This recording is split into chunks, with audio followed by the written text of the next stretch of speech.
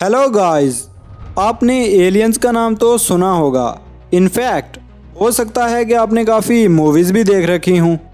But ये aliens का word आया कहाँ से? एंड हमें किस तरह पता चला कि हम ह्यूमंस के बिना भी इस यूनिवर्स में कोई और लाइफ प्रेजेंट हो सकती है, जो कि दिखने में हमारी तरह काफ़ी ज़्यादा इंटेलिजेंट भी हो सकती है? वेल well, ये यूनिवर्स है ही इस तरह की कि इसमें किसी भी चीज़ के होने और ना होने की पॉसिबिलिटी एक बहुत ही बड़ी पहेली है। वेल well, आज की इस इंटरेस्टिंग वीडियो में हम एलियंस के बारे में कई ज़्यादा इंटरेस्टिंग चीज़ें जानने वाले हैं। सो so, अगर चैनल पर नए हो तो जल्दी से एक लाइक ठोको और इस चैनल पर नए आने वाली इंटरेस्टिंग वीडियोस देखने के लिए हमारे चैनल को सब्सक्राइब करना मत भूलना। तो चलिए अपने टॉपिक की तरफ़ वापस आते हैं। दोस्तों एलियन वर्ड लैटिन लैंग्वेज के वर्ड एलियनस से लिया गया है, जबकि एलियनस वर्ड खुद ओस्कन मैनक्यू पैटिस से लिया गया है, जिसका मतलब हो सकता है एक गुलाम। बेसिकली लैटिन लैंग्वेज में एलियन वर्ड किसी ऐसी चीज़ के लिए यूज़ किया जाता है, जो कि देखने में बहुत ही अजीब और गैर मुल्की हो सकती है। एंड इवन कि अगर कोई चीज़ ब्लड से तो अलग नहीं रखती तो उस चीज़ को भी एलियन कंसिडर किया जा सकता है। दोस्तों साइंस में एलियन वर्ड किसी ऐसी चीज़ के लिए यूज़ किया जाता है जो कि अर्थ से बिलोंग ना करती हो, या फिर कोई ऐसी लिविंग बींग जो कि हमसे तलक ना रखती हो एंड मे बी इस यूनिवर्स में कहीं भी प्रेजेंट हो सकती है। दोस्तों एलियन वर्ड का आगाज़ 14 सेंचुरी के दरमियान से ही हो गया था बट इस वर्ड की इम्पोर्टेंस का अंदाज़ा हमें उस वक्त हुआ जब एनरिको फेर्मी ने 1950 में एक बहुत ही अमेजिंग क्वेश्चन पूछा। जो कि बाद में काफ़ी ज़्यादा फ़ेमस भी हुआ। बेसिकली क्वेश्चन ये था where is everybody it means के बाकी लोग कहाँ हैं? एंड इसी फ़ेमस क्वेश्चन को आज हम फर्मी पैराडॉक्स के नाम से जानते हैं।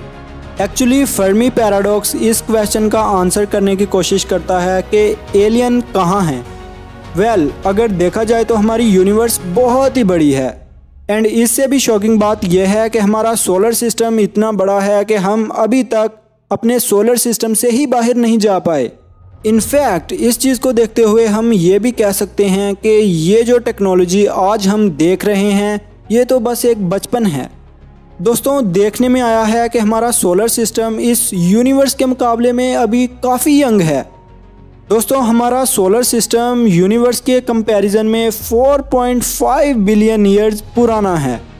इट मीन्स कि हम ये कह सकते हैं कि हमारे सोलर सिस्टम से पहले भी शायद कई और सोलर सिस्टम हो सकते हैं एंड मे बी उन सोलर सिस्टम्स में से शायद किसी एक प्लानट पर लाइफ पॉसिबल हो। एंड ये सब पॉसिबिलिटीज़ इसलिए पॉसिबल हो सकती हैं क्योंकि हमारी यूनिवर्स काफ़ी ज़्यादा पुरानी और बहुत ही बड़ी है।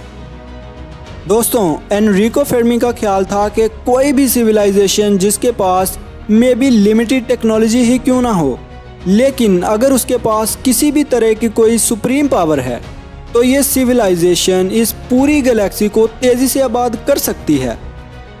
गाइस एनरिको फेर्मी के माइंड में बहुत से क्वेश्चन थे। वो अक्सर सोचते रहते थे कि ये एलियंस कहाँ हैं एंड अभी तक हम इनसे ना वाकिफ़ क्यों हैं।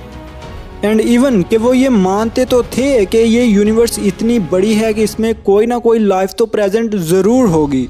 बट इस चीज़ का कोई एविडेंस ना होने की वजह से ये बस एक पैराडॉक्स ही बन गया। एंड रियली really, अगर हम इस यूनिवर्स को ऊपरी सतह से ऑब्ज़र्व करने की कोशिश करें तो हमें देखने को मिलेगा कि शायद इसमें बहुत सी लाइफ पॉसिबिलिटीज़ हो सकती हैं। लेकिन रीज़न जो सबसे बड़ी है वो यही है कि हमारे पास अभी इतनी ज़्यादा टेक्नोलॉजी एडवांस नहीं है कि हम इन सभी चीज़ों को एक्सप्लोर कर सकें। एंड दोस्तों एनरिको फेर्मी के क्वेश्चंस ने ना सिर्फ़ एनरिको फेर्मी को, बल्कि बहुत से बड़े बड़े साइंटिस्ट को भी सोचने पर मजबूर कर दिया था। इनफैक्ट के कुछ साइंटिस्ट ने कुछ अपनी थ्योरीज भी पेश की, लेकिन एविडेंस ना होने की वजह से इन सभी को एक पैराडॉक्सी कंसीडर किया गया। वेल well, क्या आप मानते हैं कि एलियंस हो सकते हैं इस यूनिवर्स में? एंड अगर आपको लगता है कि मे भी इस यूनिवर्स में शायद कोई और लाइफ प्रेजेंट हो तो आप हमें इन क्वेश्चंस के बारे में कमेंट में ज़रूर बता सकते हैं। एंड अगर आपको ये वीडियो अच्छी लगी हो तो जल्दी से एक लाइक ठोको और हमारे चैनल को सब्सक्राइब करना मत भूलना। मिलते हैं फिर एक नई इंटरेस्टिंग वीडियो के साथ। तब तक गुड बाय